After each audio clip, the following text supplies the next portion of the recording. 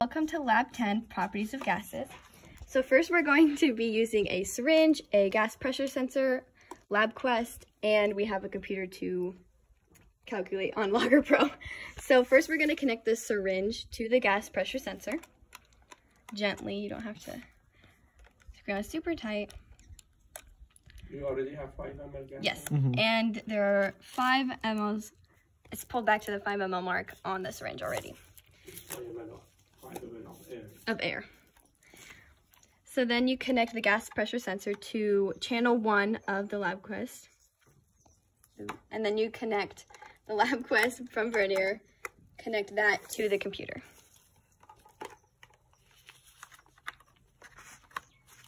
Next, you open up Logger Pro and you go to File, Open, then you select Advanced Chemistry with Vernier. Go down to Lab 30A.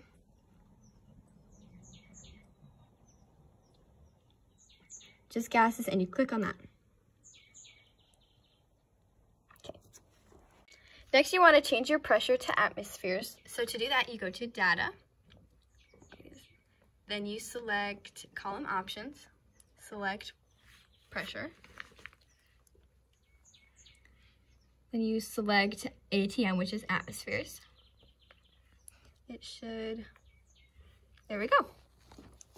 So now we're gonna start collecting data and we have five data points at five mLs, 7.5 mLs, 10 mLs, 12.5 mLs, one, 15 mLs, and 17.5 mLs. In order to do that, we're gonna pull back on this, after we collect the first data, we're gonna pull back to each data point. So first you press collect, to start collecting the data.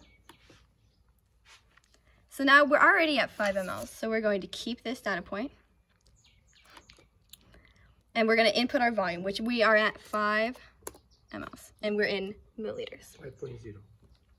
It is 5, there we go, okay. Then, ooh. you keep that. Now you're going to pull back to 7.5. Pull the plungers. Pull the plunger back to 7.5 mLs.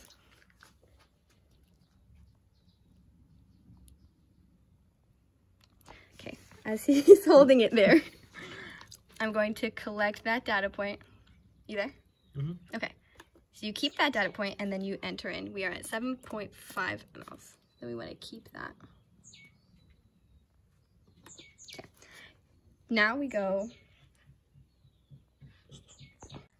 Okay, our next data point is at 10 mLs. So once it gets to 10, I'm going to watch the pressure and wait for it to stabilize, and then I will keep that data point.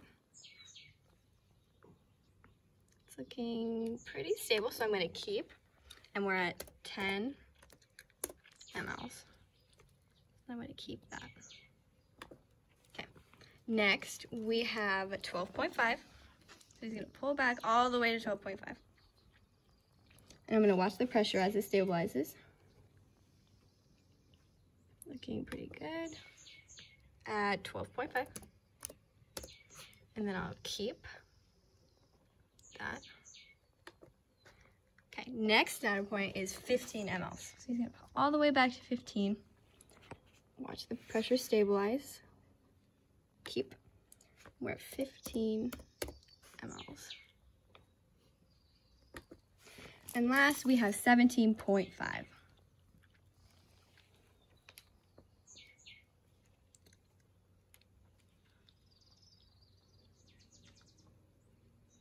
for the pressure to stabilize. Looking good. And now we're at 17.5. Okay, then you stop. And now you have your graph.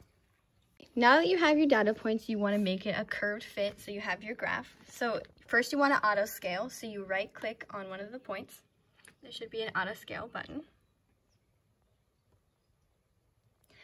Now you want to make your curve fit. So you'll go to analyze.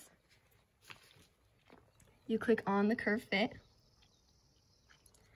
We have an inverse function here, so we want to find the inverse. Click on it. Um, try fit. Now we press OK. And there's the graph. and our data points. Use this table to answer questions one and two in the analysis. And in this part. And that part. So now for part two, we have connected our flask with our stopper to the gas pressure sensor that is still in channel one. And then we're gonna connect this temperature probe to channel two.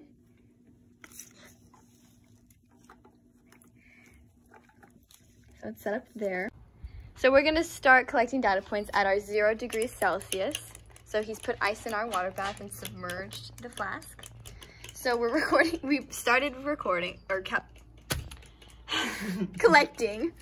So we have pressure and temperature, and we're trying to get it as close to zero degrees Celsius or 273 Kelvin as possible, and wait for our pressure to equilibrate before we collect that data point. Yeah. Okay, so equilibrated and he collected that data point. Our next temperature would be 30 degrees mm, Celsius. Yes. For 300 Kelvin. He's gonna dump the ice water out. Get some new water and then we'll put it on the hot plate.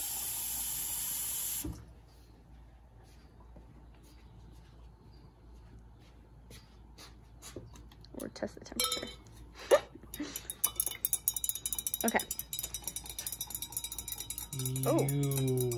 We're a bit above. Okay. okay, so we want the temperature to equilibrate. What at- is it? It's at 307, but we need 300 like- Kelvin. We're like Really? 30. 300? We're like at 35. 34 degrees Celsius. That's. That's good enough. Oh, yeah. And we're Five waiting plus minus for five. the pressure to equilibrate before we collect the data point.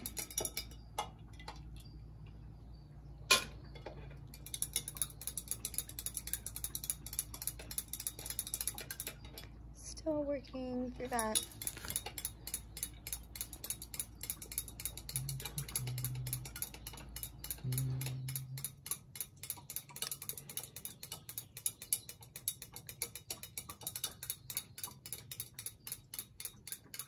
Doesn't want to stay.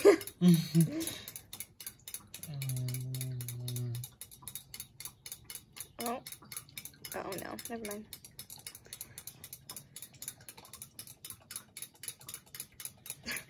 It just doesn't want to stop. Oh look, wait, no, never mind.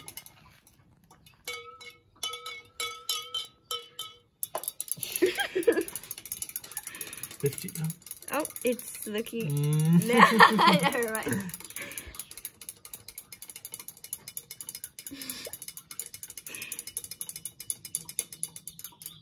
Oh. Nope. As you can see, our pressure is still going lower. It's not kind of staying constant. So it looks like our pressure is staying relatively constant there, so we're going to keep that data point. Okay. Okay.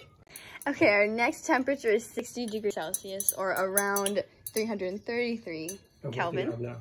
We have 330. 330. Wow. Let's wait to equilibrate, please.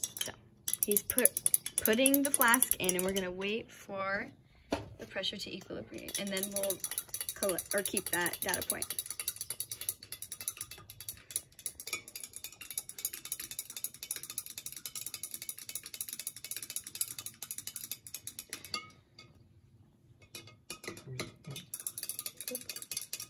Oh, never mind.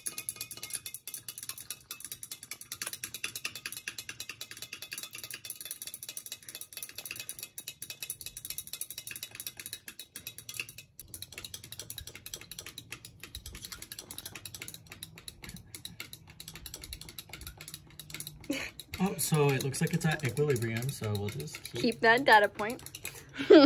next temperature. okay, our next temperature is 90 degrees Celsius. Okay, if it's under by like 20 degrees. Okay.